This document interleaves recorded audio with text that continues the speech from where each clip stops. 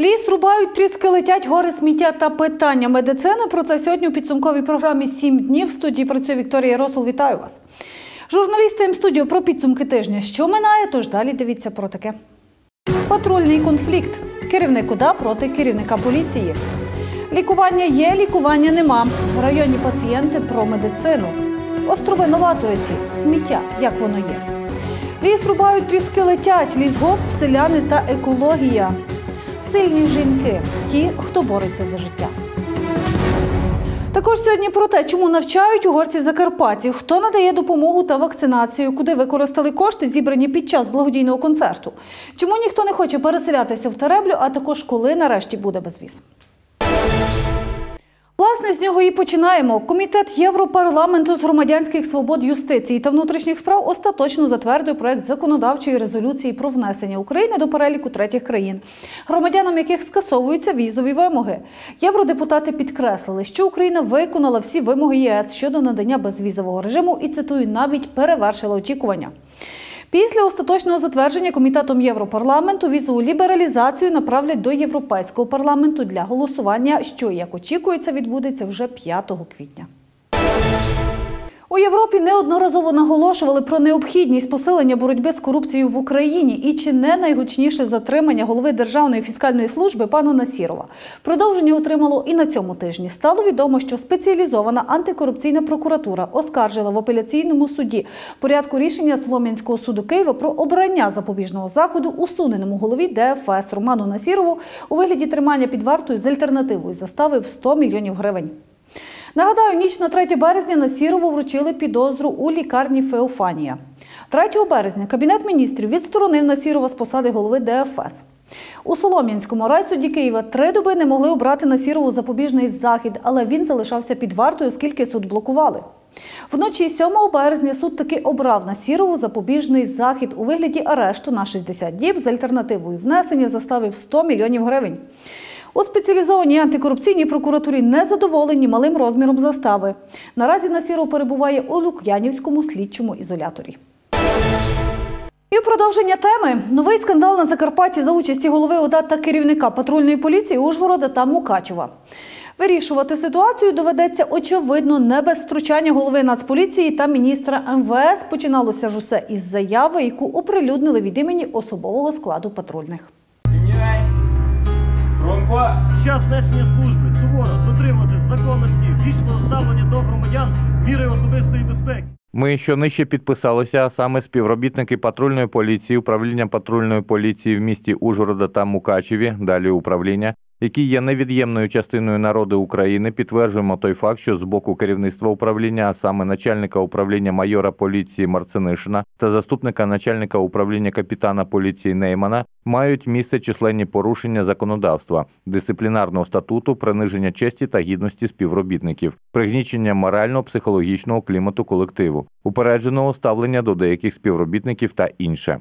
Ось таке колективне звернення днями написали 73 патрульних поліцейських Ужгорода та Мукачева голові ОДА Геннадію Москалю. Той у свою чергу заявив. Я неодноразово наголошував, що крім скандалів ніякої користі від нової патрульної поліції на Закарпатті немає. Через недалеке керівництво патрульна поліція повністю завалила роботу. Як свідчать показники, кількість ДТП та злочинів за час її роботи не те, що зменшилася, а набагато зросла. Моя позиція чітка: керівництво управління має бути зміщене. І як результат направив звернення до міністра МВС Арсена Авакова до голови Національної поліції України Сергія Князєва щодо необхідності невідкладного реагування на факти, наведені колективом управління патрульної поліції. каже, поведінка керівника недопустима. Наводить аудіозапис. Кримінал блядь? Ми йому поїхали, поклялися, тут дають і голі я сам особисто. Не то зальот, не то конфлікти, не якісь не, не, не, до речі, непонятні движення починаються. Це начальник патрульної поліції. Ви питаєте, за що його критикую? От, от цей інструктаж іде тих, які виходять на вулицю. І як вони е, з вами мають говорити отак? ж? Ненормативна лексика через краї під час кожного інструктажу. Так заступають патрульні на чергування. Принаймні, це стверджує голова ОДА, до якого ніби звернулися самі копи. А ось як пояснює ситуацію і сам Марцинишин. Це був командирський брифінг. Буквально після того, як ми відсвяткували нашу річницю. Деякі роти безпосередньо також в певних е, розважальних закладах десь там святкували. І були пару таких неприємних ситуацій в цих, е, в цих закладах. Були претензії до наших працівників, які відпочивали або святкували річницю. Це було сказано на емоціях, що при відпочинку командир має залишатися командиром і слідкувати за своїм особовим складом.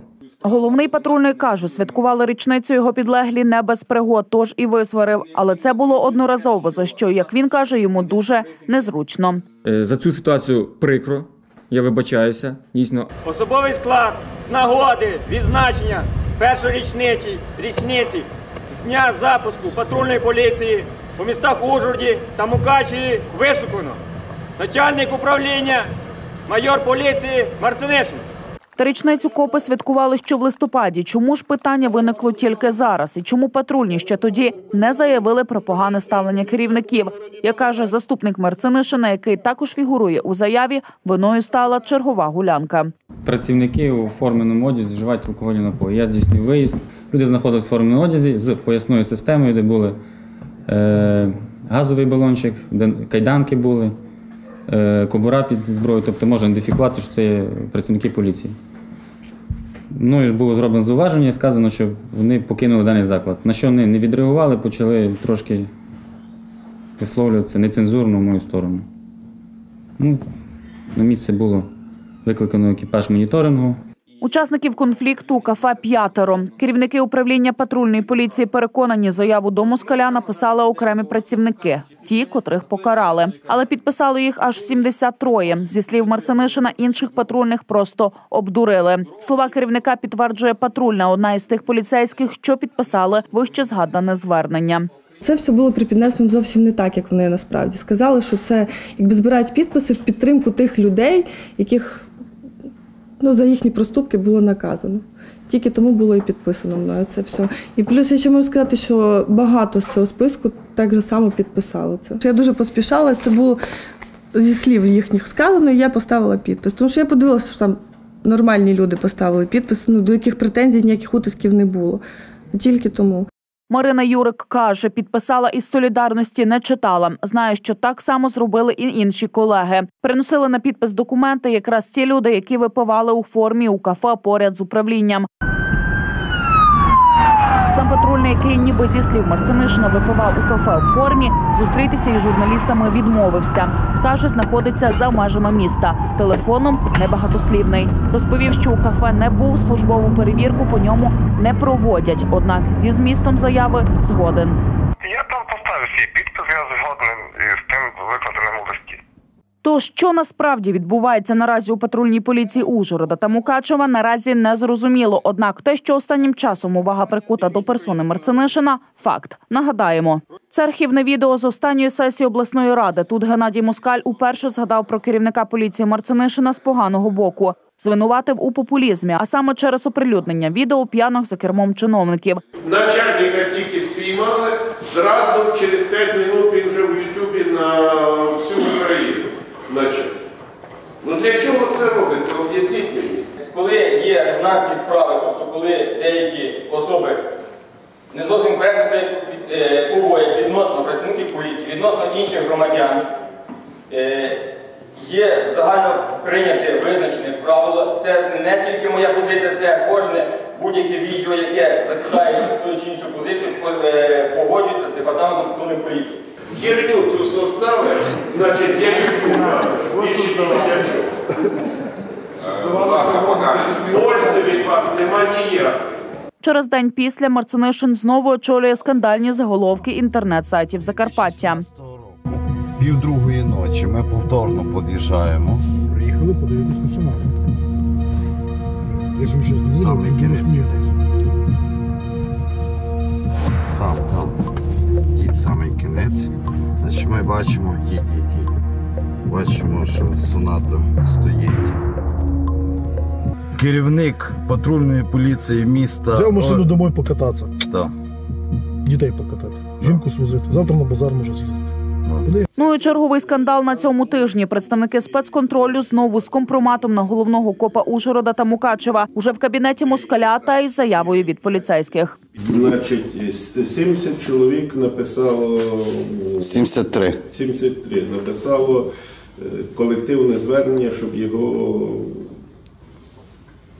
е, зараз е, заскануй.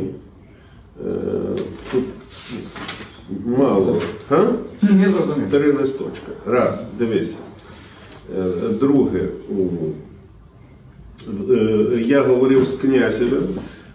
Знайти, як йому приймальну кинути на електронку.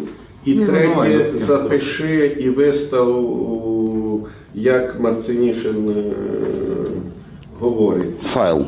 З підлеглим. Це реально це прийшло на мене. Прийшов оті хуйові матюки на мене. Матюки чи що? Водій автомобіля Audi Q7. Прийміть право зупиніться.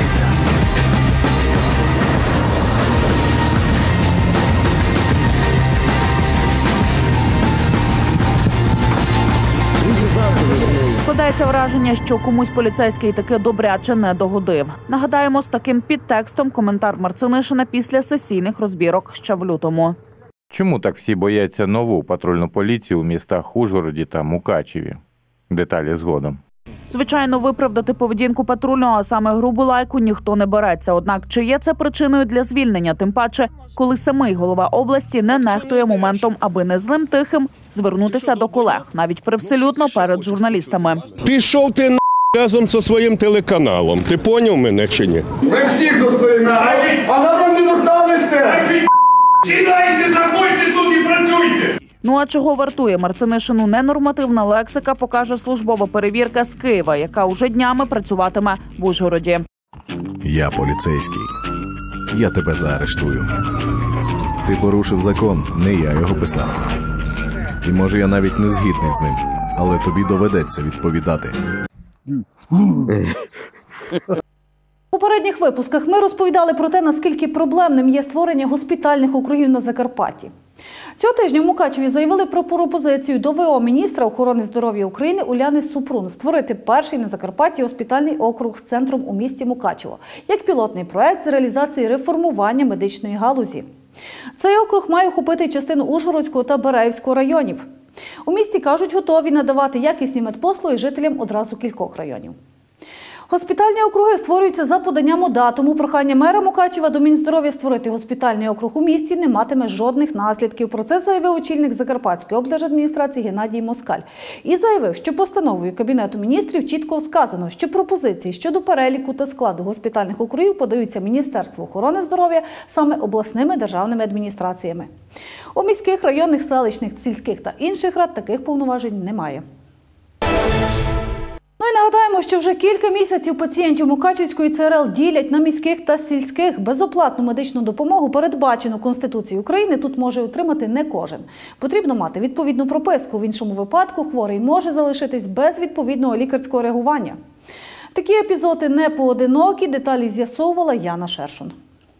З початку року жителі району, які зазвичай отримували медичну допомогу в Мукачеві, небажані пацієнти у ЦРЛ. Причина, як зазначали очільники охорони здоров'я, у недостатньому фінансуванні з боку району. Тим не менше, всюди наголошувалось. Щодо лікування мешканців Мукачівського району проблем не було і немає. Всіх за медичними показами ми госпіталізуємо Мукачівську центральну районну лікарню. Однак, якими саме мають бути медичні покази хворих для того, щоб Мукачівська ЦРЛ їх прийняла, незрозуміло. Адже поспілкувавшись з деякими хворими, яким відмовили у наданні належної лікарської допомоги, ми були відверто здивовані ставленням до жителів району. Пан Янош цими днями, як зазначає завідуючий Ракошинської дільничної лікарні, переніс тромбоемболію легеневої артерії. Чоловік з явними ознаками цього захворювання був транспортований до Мукачівської ЦРЛ. Однак там лікарі, просто оглянувши пацієнта без жодної діагностики та аналізів, відписалися і відправили пацієнта назад у Ракошино. Доктор був пише, пише, а другий на на два було е, докторки. Ну, то, та писала, і не, не треба ніч перевати. А ми нагадуємо про наступне. Щодо лікування мешканців Мукачівського району проблем не було і немає. Чоловікові по сьогодні важко говорити, а лікар зазначає, що пану Яношу дуже пощастило. Якби тромб був у головній гілці легеневої артерії, чоловік помер би відразу. Ну, ви розумієте, що цей діагноз ніяк не для нашого рівня. Фактично лікування хворий був дійсно направлений дільничним лікарем, але чомусь лише проконсультований кардіологом і пульмонологом і відправлений на лікування в дільничну лікарню. Підібрати медикаментозну дозу варфарину, яким лікують хворого без належних діагностик і спостережень, неможливо. А можливостей це робити у Ракошинській лікарні нема. Відсутнє обладнання. Тож лікують чоловіка, виходячи з того, що є. Однак пан Янош не єдиний пацієнт лікарні, якому Мукачівська ЦРЛ відмовила надавати допомогу. Пані Марія з синдромом вертебральної артерії також відчула на собі переваги такого ставлення до жителів району. Прийшла, але чи врачка, ну я не знаю там. І каже, ось е, потисніть мені пальці. Я їй так потисла. Нічого, міста немає, бо у нас прибули із інфарктом жінки, а каже, міста немає. Ви обратно йдіть у Ракошину. А доктор, е, тот, що нас привіз, е, я не знав. А, та каже, ну та як ти ж у ній бабусі плохо. Ну а що? Гроші маєте? Пані Марія каже, що лікар виділив їй від сили дві хвилини. Завідуючий Ракошинської дільничної лікарні зазначає, що медик навіть не поставив ні свій діагноз, ні рекомендації щодо лікування. Значить, зробив запис е, на даний момент, на момент огляду гострої вогнищевої патології в нервній системі не виявлено і навіть не поставив печатку, підпис є, правда. Значить, практично діагноза свого і якісь рекомендації неврологічні, да, як спеціаліста вузького, значить, ніякі не були надані. А зі слів мукачівських чиновників виходить наступне. Щодо лікування мешканців Мукачівського району проблем не було і немає. Ці пацієнти тепер знаходяться в Ракошинській дільничній лікарні. Однак є й такі, що були направлені у Мукачівську ЦРЛ і, отримавши відмову у лікуванні, повернулися додому. Завідуючий Ракошинської дільничної лікарні каже, що буквально минулого тижня у жительки села була виявлена внутрішня кровотеча. Жінку направили у хірургічне відділення Мукачівської ЦРЛ. Однак там сказали, що місця для 82-річної жінки нема. Ввели ми кровоостанавлюючі, там зілат, е, там вікасол, і відправили ми, я визвав скору і кажу в лежачому положенні, що ви думаєте? Я чисто случайно вчора взнаву, що людина знаходить вдома, да, була в приймальному відділенні. Хірург дивився її, чомусь вони взяли на себе, і тот лікар, це вівторок, я буду виясняти, бо я це мушу написати, видно, е, називається гідоповідна, але видно так і буде. Другого виходу немає. Лікарі мали знайти першоджерело кровотечі, однак клопотатися випадком старенької не забажали. Не знайшли місця у Мукачівській ЦРЛ і для літньої жінки, направленої з Чинадієва. Пацієнтка, як зазначає її донька, не притомніла через високий тиск. Погано їй було і в кабінеті лікарів, які її оглядали. Ну, попросилася, щоб її оставили так е, у лікарні, бо я не знала, що з нею робити. Вони не хотіли. Сказали, що місця немає. Е, Спитали, з якого вона року, з 30-го року. І ой, вони як у шоці були. Бо я ще повірила, що дуже така важка, що з 30-го року що було. То вони не прийняли її і направили нас обратно в Чинадієво. Мене вже були діти похоронені. Була мало потіяла по мукачу. Горінали, білі я вже довго, довго без ног. І не приймали, як вже прийшли ми сюди, то і нараз мали допомогу давати.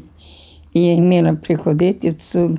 Однак у Чинадіївській дільничній лікарні на лікуванні наразі перебуває і жінка, яку таки прийняли у ЦРЛ. Хвора була у передінфарктному стані. За лікування їй довелося платити. Перший день лікували своїми лікарствами, тоді вже мене там лікували, вже діти допомагали лікуватися, а потім до- сюди прислали назад долікуватися. Е, Ми стараємося допомогти усім, але відділення є переповнене, тому госпіталізувати всіх, на жаль, не можемо. Тим не менше, хоча скарг усних безліч, зафіксованих письмово просто нема. Е, Прямих відмов від госпіталізації в ЦРЛ і зафіксованих письмово не було. Така ж ситуація і у дільничній лікарні великих лучок. Люди в селі нарікали на зміни у наданні медичної допомоги у Мукачівській ЦРЛ. У селі неодноразово ми, чули, що такі випадки були, що зверталися на гарячу лінію, що не було їм ну, виділено безкоштовне лікування. У порівнянні з прошлим роком вони мали осінню безкоштовне обсобно по глаукомі, був у нас такий випадок, а зараз у січні вже його не пролікували. Він це лікував за свої кошти. Ми не могли не звернутися за коментарем до головного лікаря Мукачівської ЦРЛ, однак не усе так просто.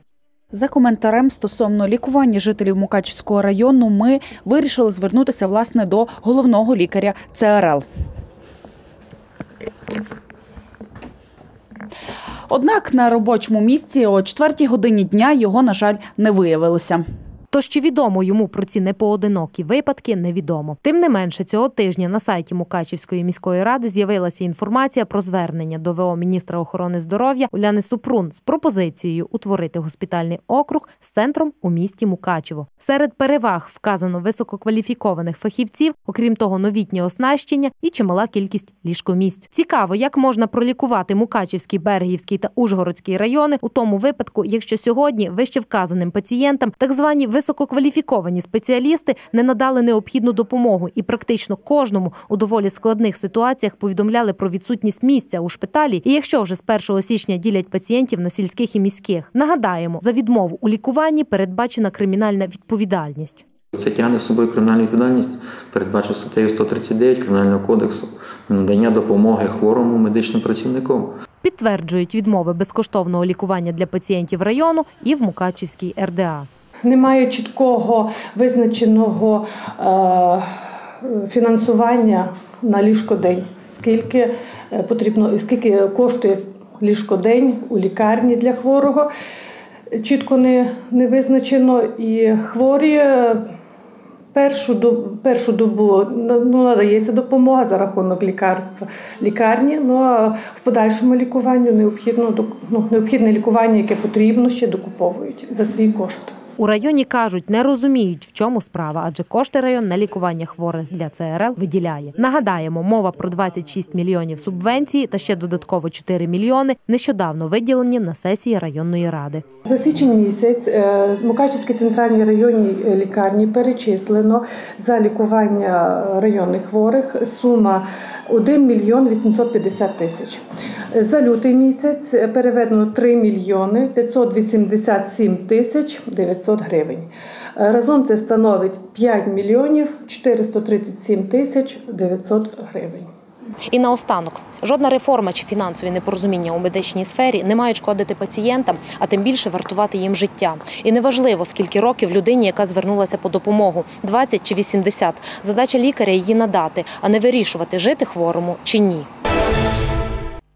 Ну і на цьому тижні начальник відділу охорони здоров'я Мукачівського міськвиконкому Любов Манзич заявила, що мешканці району отримуватимуть медичну допомогу в ЦРЛ.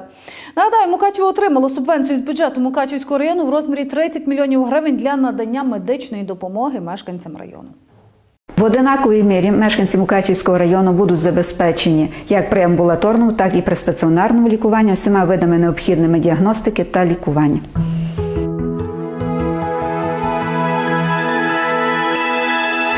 Чи насправді ситуація з наданням безкоштовних медичних послуг для мешканців Мукачівщини зміниться, чи так само в ЦРЛ жителям району відмовлятимуть, з'ясується вже зовсім скоро.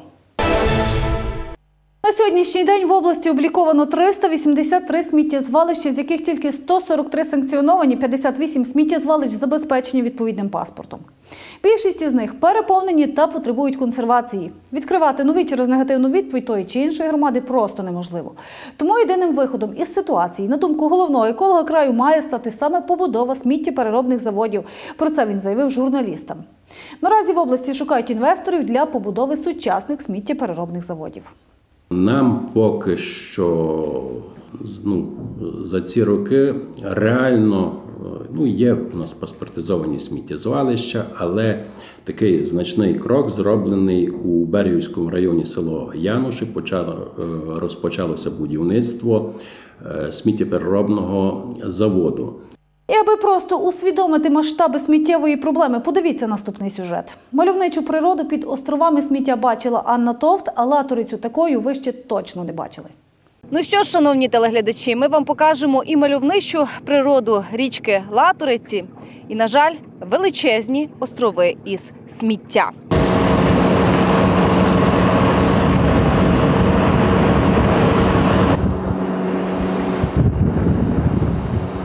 Річка у нас дуже красива, дуже красива природа е, біля річки. Береги дуже красиві. Все тут є у нас. Ну тільки треба трохи охайності. Хай би кожен за собою мусор, який залишають на, е, на побережжі, якщо віддихають або що, хай би з собою повезли в відведені місця, то викинули. І таких би проблем було набагато менше. Пан Степан рибалка зі стажем. Латорицю чоловік знає як свої п'ять пальців. Тут є у нас і бобри, є на латориці, є і ондатри, ну всякі, всякі є. Кабани приходять, інколи косулю бачить, що перепливає річку. Чоловік на латориці рибалить вже 11 років. Каже, на жаль, з кожним роком він помічає, як річка дедалі більше потопає у смітті. Двері у Європу. Безвізовий режим. Річка Латориця надзвичайно красива, особливо навесні, коли все навколо зазеленіє. Та поки ще листя на деревах не розпустилося, береги її голі. Дуже добре видно сміття, яке псує цю мальовничу картину і завдає чималої шкоди навколишньому середовищу. Від Мукачева ми проїхали 22 кілометри на човні вниз по річці Латориці. На жаль, всюди береги вздовж річки встелені пластиковими пляшками. Поліетиленові пакети висять як гірлянди на деревах, а з відходів нарахували кілька десятків невеличких острівців.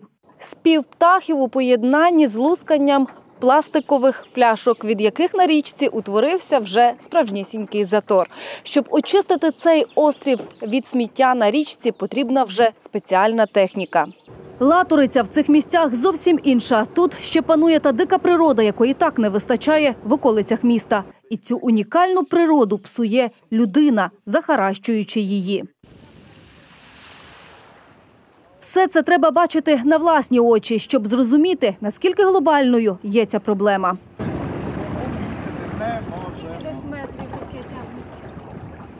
Тут взагалі не можна приїхати, так? Ну що, приїхали неподалік від села Вінкова на річці Латориці і сміття утворився величезний острів. Далі пливсти неможливо, адже річка в ширину і в довжину захаращена відходами. Це сміття донизу забиває латорицю. То є проблема дуже велика і для нашої фауни, для риби, тому що вона не може мігрувати, не може підніматися вверх по течії, щоб знереститися. Таких завалів буває дуже багато по латориці. Були і біля Домбуцького моста був завал. Ну я так з другом, що хожу, ми самі інколи розбираємо ці завали. Або то, коли такий дуже великий утворюється завал, то вже неможливо самому розібрати. І тут навіть дивіться, була дуже велика вода, вона завал цей не понесла. Цей завал останеться. Ну він вже тут є, я вам скажу, десь роки три або чотири. Я наблюдаю його. І його не відносить. Навіть була велика вода дуже, що і крига йшла, і все, паводок навіть не забрав. Картина жахлива, і все це наслідки людської безвідповідальності та неохайності. Та на жаль, не тільки річка потерпає від сміття, а й ліси навколо неї. Неподалік від річки Латориці земля вкрита підсніжниками. Однак навіть тут, поміж квітами, можна побачити багато пластикових пляшок та інших відходів. Чисто не там, де прибирають, а там, де не смітять, каже народний вислів. Тож, якщо ми й далі будемо викидувати сміття, будь-де завдаватимемо непоправної шкоди нашій природі. Такий мусор е, по-любому впливає на природу, що він добра не приносить нікому, тому що воно гниє, запах потім дає сморід у літі. Замість чистих берегів, лісів, річок, сміття, завдаючи шкоди екології, ми шкодимо собі. Бережіть природу і пам'ятайте, чисто там, де не смітять, а після себе обов'язково прибирають. З кожним роком цей острів і сміття все більшає. Зараз він сягає вже близько кілометра. Якщо так буде і далі, то з часом саме так виглядатиме наша річка Латориця. Більше 800 тисяч гектарів лісів України нікому не підпорядковані. Про це заявили в Держлісагентстві. За словами голови Держлісагентства Христини Юшкевич, органи місцевого самоврядування або голови обласних державних адміністрацій вирішують, коли і кому ці лісові масиви передаються в користування. Держлісагентству, нагадаю, підпорядковується 73% лісів, 12,5% – це комунальні ліси, 7% – це інші постійні лісокористувачі. На Свалявщині на цьому тижні з лісом склалась непроста ситуація. Жителі одного з сіл вийшли, тому що не згідні з вирубками. Про те, що на це все кажуть лісівники, та чи варто шукати інші підтексти в цих протестах, наші журналісти з'ясовували протягом тижня. Весна на Свалявщині розпочалась з протестів. Біля сотні активістів вийшли на дорогу. Кажуть, протестують проти вирубки дерев в урочищі Дуби, що в селі Стройне.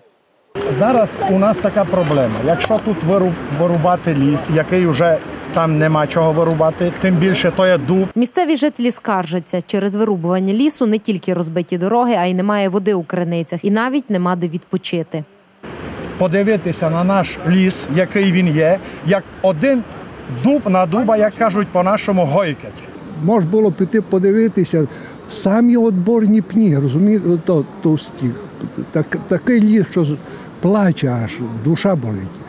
А вони тут ріжуть. Активісти кажуть, дерева рубали прямо над міжнародним газопроводом Уренгой Помари Ужгород, експортним газопроводом, який з'єднує Уренгойське газове родовище та газові родовища півночі західного Сибіру із Ужгородом. А це заборонено законом. Місцеві повідомили, що одна вантажівка вже поїхала в ліс за деревиною. Ми за нею питаємо, що за дерева. Що це за дерево, на якому зараз, що зараз пиляєте? Бук. Це бук? А коли це сьогодні? Це, це мене не звідати, Андрій маєте там звідати. Вантажили машину до тих пір, поки не побачили оператора. Одразу ж заглушили мотор і втекли, залишивши техніку. Ви можете бачити, які е, потоки бруду течуть людям прямо в село. Сільський голова каже, спілкувався із людьми, які проводили вирубку.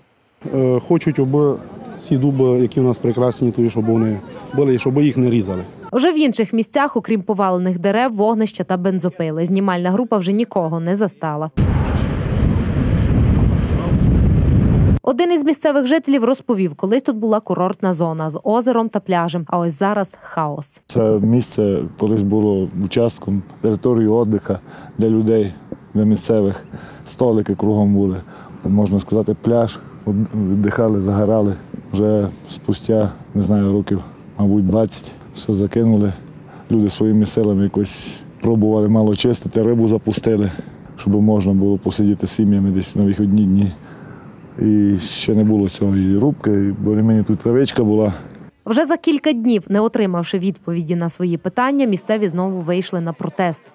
2 числа я позвонив на е, 102, е, повідомив, що тут ведеться незаконна вирубка дубів. Е, На той час реагували, приїхали сюди міліція, постояли тут ночі і все. На цьому закінчилося. Окрім вирубки дубів, місцеві звернули увагу на знищення технікою шофранів та підсніжників, а ще на постійне забруднення місцевої річки, яке селяни пов'язують з лісовозами. Потічок маємо, цуря би ми пополокали, коли не є води, вже не будеш полокати.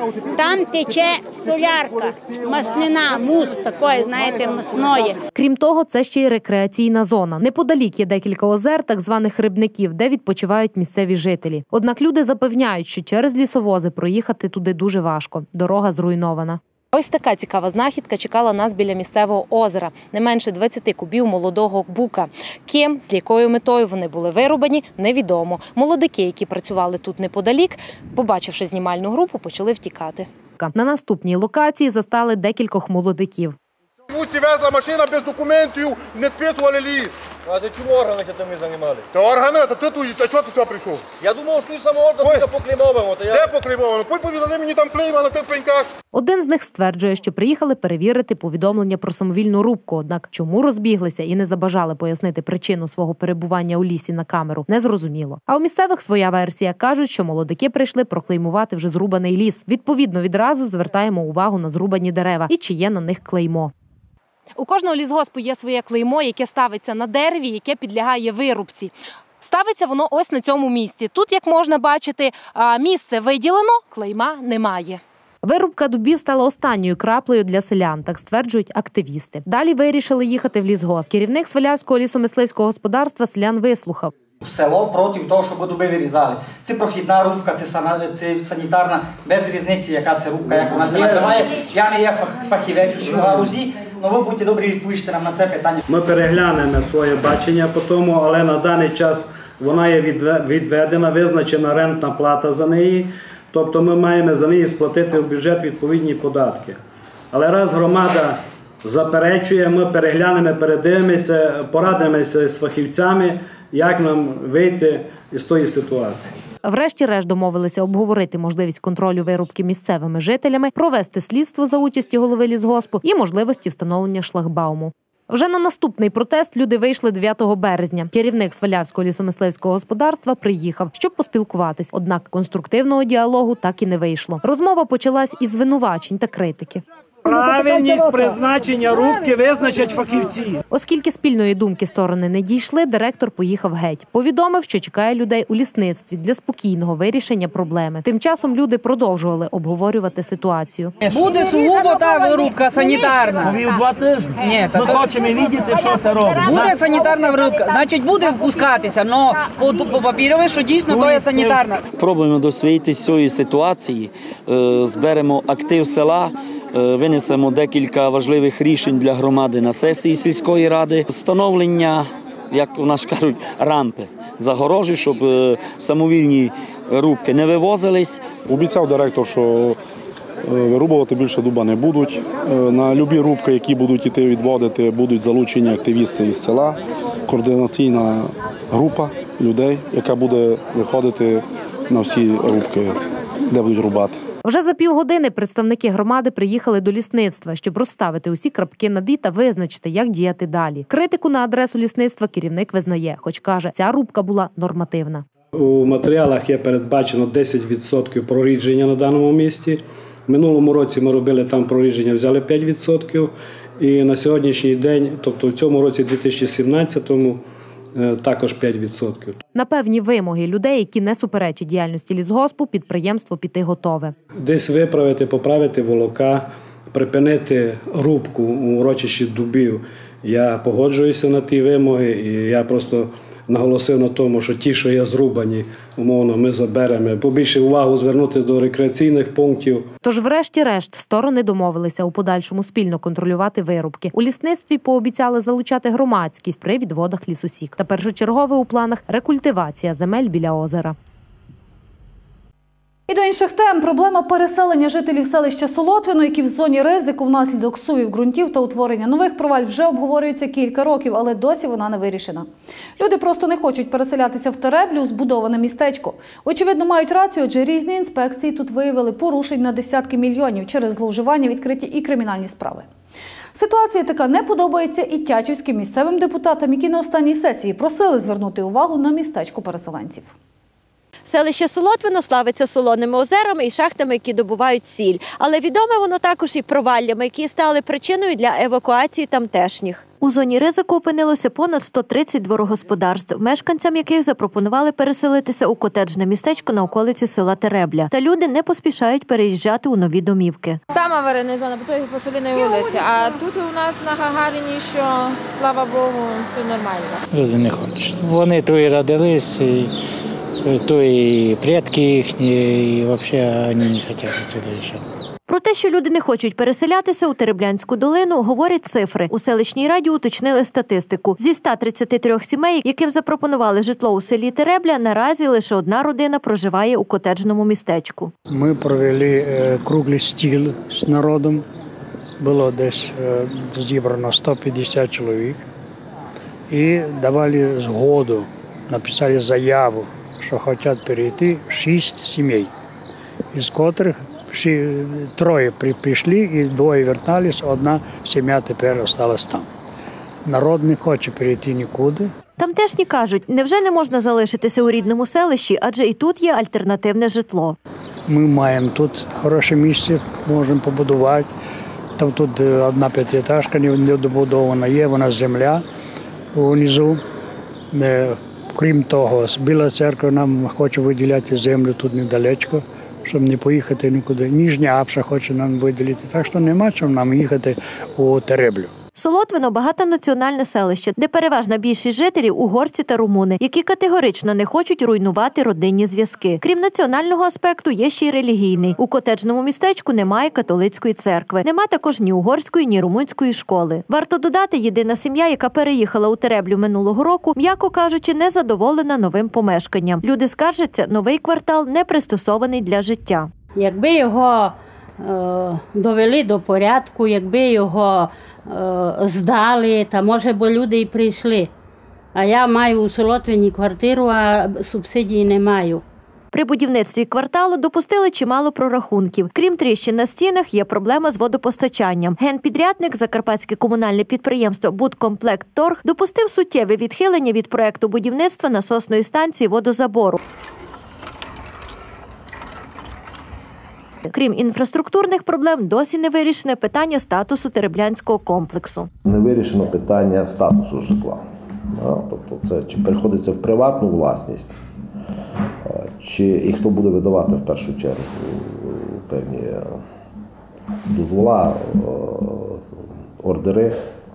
Починаючи з 2013 року, якими тільки епітетами не нагороджували посадовці краю житловий комплекс для переселенців у Тереблі, і будівництво року, і елітний район. Однак жоден із них не відповідає дійсності. Фактично, котеджне містечко досі не добудовано до кінця. Коштів, які би дали можливість довести до е, можливості експлуатації в цілому житлового масива, є е, недостатньо в районному бюджеті. Відповідно, це має бути спільним рухом як обласної, з обласного бюджету, так і з району. Нагадаємо, на будівництво Тереблянського комплексу виділили майже 100 мільйонів гривень з державного бюджету, з яких за приблизними оцінками спеціалістів шляхом завищення вартості матеріалів та робіт було привласнено більше 30 мільйонів гривень. Починаючи з 2012 року, Державна фінансова інспекція у ході перевірок встановила факти завищення вартості робіт. А всі матеріали спрямували до прокуратури області та управління МВС України в Закарпатській області для вжиття заходів у межах їх компетенції. Поки за цими фактами тривають досудові розслідування, Тереблянський комплекс залишається для районної влади тягарем. Сьогодні в чергове ми прийняли звернення до Кабінету міністрів визначити статус житла нема визначено. Потім е, є роботи, які не виконані, залишилися невиконані роботи, щоб виділили кошти, завершили ті роботи, які не виконані. Ну і третє, що саме важливо, після того, як цей комплекс був збудований, правоохоронні органи вилучили всі документи. І зараз немає і документів на цей комплекс. На останній сесії Тячівської районної ради 21 лютого депутати вкотре виділили кошти на сплату комунальних послуг Тереблянського комплексу. Варто сподіватись, долю котеджного містечка найближчим часом вирішать. Принаймні і місцеві жителі, і чиновники цього чекають. Цієї п'ятниці в угорському місті Ніредьгаза відбулася конференція між представниками місцевих органів самоврядування Саболь-Сатмар-Барицької області, також західних областей України. Найчисленнішу делегацію з української сторони представляло Закарпаття, представники якого найбільш тісно співпрацюють з прикордонною областю Угорщини. Як шлях євроінтеграції та децентралізації проходили наші сусіди та чи все їм вдалося одразу? Дивіться далі. На конференцію зібрали представників органів місцевого самоврядування західних областей України, а також їхніх колег із саболуч сатмар баризької області Угорщини, що межує із Закарпаттям в угорському місті Нірідгаза. Її мета поділитись угорським досвідом у питанні євроінтеграції. Kormányzati vezető meghívásra került. На сьогоднішню конференцію ми запросили усіх керівників органів місцевого самоврядування з України, які знаходяться в нашому консульському окрузі. Тобто мова йде про Закарпатську, Івано-Франківську, Львівську, Чернівецьку області. Тут вони отримують нагоду безпосередньо поспілкуватися із угорськими керівниками органів місцевого самоврядування і налагодити тісні зв'язки. Під час конференції керівники саболуч сатмар баризької області розповіли українським колегам про свій шлях євроінтеграції, який розпочинався задовго до 2004 року, коли Угорщина стала членом ЄС. Кажуть, і центральна влада, і місцеві органи активно працювали у цьому напрямку. Хоча, за слів голови загальних зборів сатмар баризької області Оскара Шостака, глибока децентралізація, через яку також проходила Угорщина, не дала тих бажаних результатів, на які сподівались. Колись у нас органи місцевого самоврядування мали достатньо велику волю дій. На жаль, вона себе не виправдала, тому питання це було врегульовано. І сьогодні діють певні правила, за якими повинні жити громади. Про це сьогодні також буде йти мова, аби наші помилки не були повторені українськими органами місцевого самоврядування. Порівнюючи сьогоднішній стан в українському суспільстві, угорська сторона констатує, євроінтеграційні процеси в Україні, хоч і мають місце, проте вони ще далекі від ідеалів. Для цього Угорщина, як сусід та партнер, намагатиметься допомогти. І в цьому напрямку вже можна побачити позитивні результати, зокрема із транскордонної співпраці. Один із пріоритетів європейське об'єднання територіального співробітництва. Уперше за всю історію єС область, якою стала Закарпатська, зможе брати участь у грантових проектах, які доступні тільки громадам країн ЄС. Євроінтеграційні зміни повинні відчуватися в країні не тільки тоді, коли вона стала членом європейської спільноти, але й задовго до цього у всіх сферах життя. Потрібно гармонізувати всі як місцеві, так і загальнодержавні закони до вимог Європейського союзу. Україна, на жаль, поки що далека від цього. Однак Угорщина намагатиметься максимально допомогти в цьому напрямку. І сьогоднішня конференція є яскравим прикладом цього. Зі свого боку, представники українського місцевого самоврядування отримали важливу інформацію в євроінтеграційному прагненні. Зокрема, на прикладі Нієредь Газа, з якою Ужгород тісно співпрацює вже не один рік. Є декілька зараз е, перспективних проєктів, які ми розробляємо. І в ході сьогоднішньої зустрічі, крім того, що ми переймаємо досвід місцевого самоврядування Угорщини, ми маємо обговорити ще деякі конкретні проекти вже е, в рамках е, програми транскордонного співробітництва.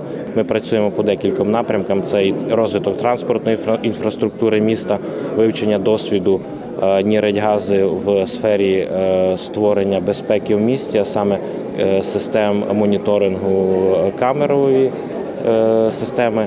е, І е, покращення матеріально-технічного забезпечення закладів охорони здоров'я міста Ужгород. Під час конференції угорська сторона розповіла не тільки про співпрацю із українськими органами місцевого самоврядування, але й окреслили плани та сподівання на майбутнє, зокрема в економічній сфері, продовження залучення грантових коштів у розбудові транскордонного співробітництва, намаганням запровадити потяг, який має сполучити Будапешт із Мукачевом, а можливо навіть і зі Львовом. Також акцентували на майбутньому безвізовому режимі для українців, який повинен дати потужний поштовх для соціально-економічного партнерства двох країн та ЄС загалом.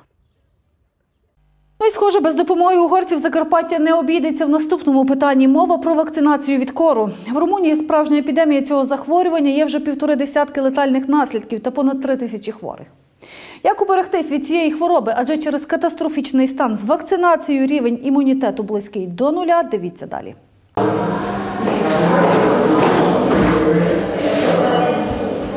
Пустий холодильник, а мали бути вакцини. І так протягом кількох років. Сьогодні, хоч вакцинами частково забезпечені, та ситуації це не змінить. Імунітет жителів області наднизький. Протягом п'яти років відбувалися постійні затримки у постачанні імунобіологічних препаратів, а саме вакцин проти всіх керованих інфекцій. І е, в останні роки е, пройшло е, ослаблення епідемічного нагляду в країні через те, що останні роки безконечно реформується такий е, наглядовий орган, як санепідслужба державна, яка діяла Недосконала та досі законодавчо не забезпечена реформа санепідслужби теж одна з ознак неналежного імунітету, каже головний медик області. Саме працівники СЕС вели контроль за імунітетом громадян. А наразі цим займається незрозуміло хто. Значна частина жителів краю не щеплені від таких хвороб, як дифтерія, кір, правець. До чого це може призвести? Варто згадати ситуації з поліомієлітом. Хвороби практично немає у цілому світі, а на Закарпатті зареєстрували два випадки поліовірусу. Якщо так порушувати правила гри з вакцинами грубо і е, з боку населення, з боку батьків і е, з поставками вакцин, е, нас попереду можуть чекати серйозні спалахи таких захворювань, як кір, І, можливо, не було біди, але у сусідній Румунії епідемія кору. Три тисячі осіб вже захворіло, 16 випадків летальні. Переважно хвороба охопила дітей. Наразі кір вже і в Україні. Майже півсотні випадків зареєстровані у Франківську. Щодо Закарпаття, то поки що ситуація стабільна. Наразі хворих тільки двоє, однак медики не виключають епідемії. Епідемічні е, підйоми захворюваності кором в Закарпатській області, за даними багаторічного спостереження, реєструються кожні 5-6 років. Останнє епідемічне ускладнення з кору в Закарпатті виникло у 2012 році, коли було зафіксовано 1835 випадків. Тоді захворюваність в нашому регіоні е, перевищувала загальнодержавні показники. Прогноз е, можна такий зробити, що можливе перед е, якісь, е, якісь передумови і для ускладнення під ситуації. Тільки 45% жителів області захищені від кору. Лікарі кажуть, діагностувати хворобу зможуть, лікувати теж. Ліків вистачає. Але як би не було, єдиний варіант ще захиститися щеплення. На щастя, про закарпатців подбали угорці, які передали вакцини до області. Прийшов лист нам е, від Угорщини, від Міністерства охорони здоров'я. Вони е, готові нас забезпечити всіми е, вакцинаціями, в першу чергу проти кору. Це дуже велика проблема. Ну, Протягом 2016-2017 року, згідно плану, жодних вакцин поставлено в область не було. Отримували тільки вакцини за кошти 2015 року. Начальник департаменту охорони здоров'я краю каже, на 75% вакцинами сьогодні забезпечені. Щодо кору, то в амбулаторіях області ще є залишки – 8 тисяч 923 дози від кору. Тож, до прикладу, в Ужгороді ще є можливість щепити 500 дітей. Та це ніщо порівняно з потребою. Але За 15 рік ми отримали на кінець минулого року і початок цього року. Тобто ми для планової роботи вакцини маємо. Але ще раз повторюю цифру, що в Україні в цілому 45% захищених є. Ті люди, які пропустили в попередні роки планову вакцинацію, планову ревакцинацію, от вони нас турбують. У зв'язку з ситуацією жителям варто бути дуже обачними. Кір – інфекційне захворювання, що легко передається. Перші симптоми – головний біль, слабкість, температура. Незабаром з'являються нежить, збільшуються шийні лімфоузли, з'являється запалення очей. І тільки на четвертий-п'ятий день хвороби з'являється висип.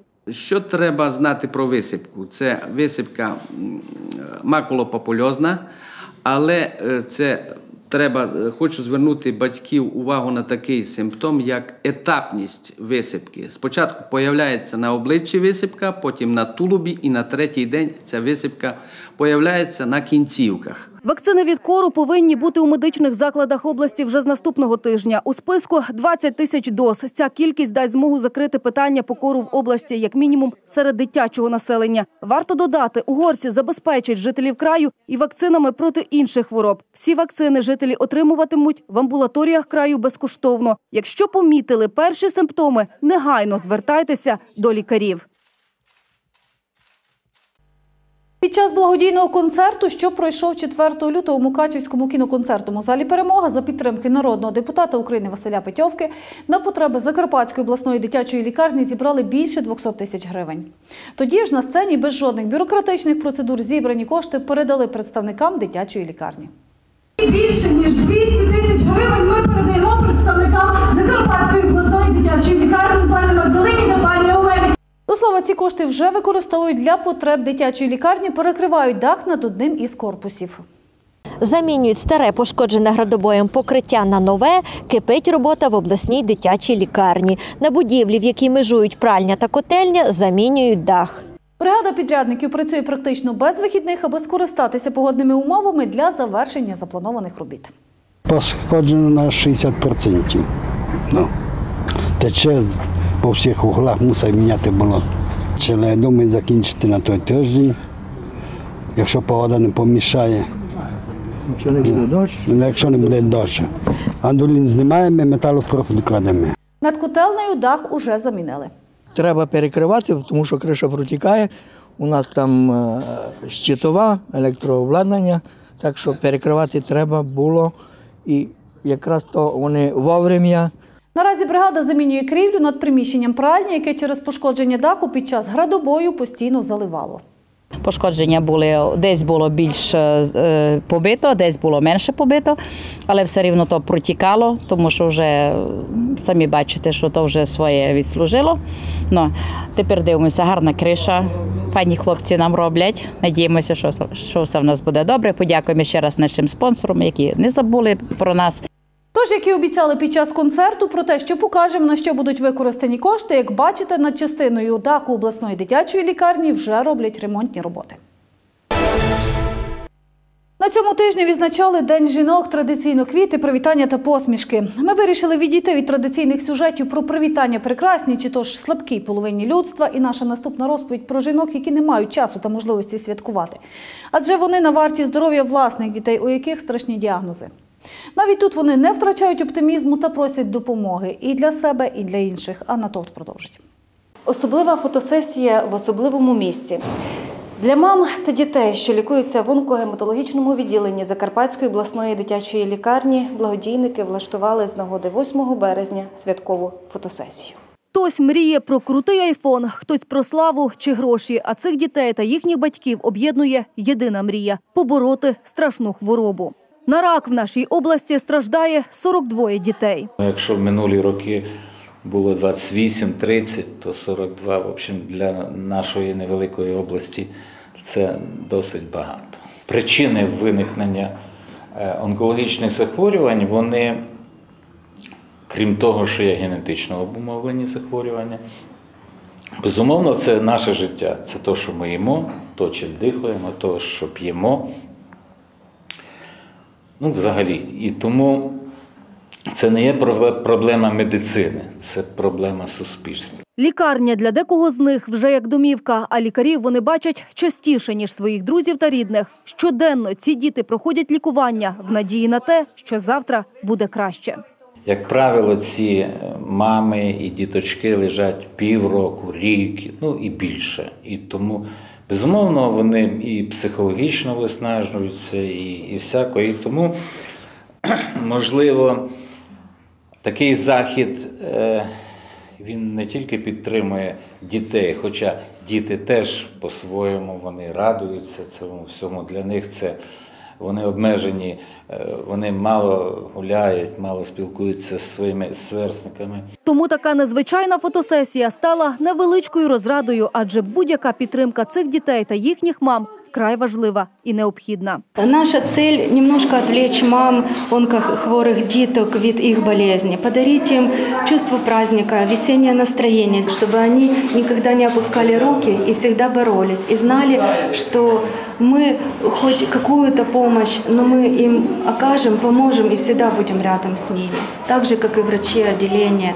которые стараются на повну силу. Дуже хотілося принести трошечки от такого весняного настрою. Їм Е, звичайно хотілося б дуже привернути увагу до е, проблеми онкології в е, ну в Закарпатській області. Взагалі До благодійного заходу долучилося чимало небайдужих людей. Це й організатори святкових заходів, перукарі, візажисти, фотограф та інші.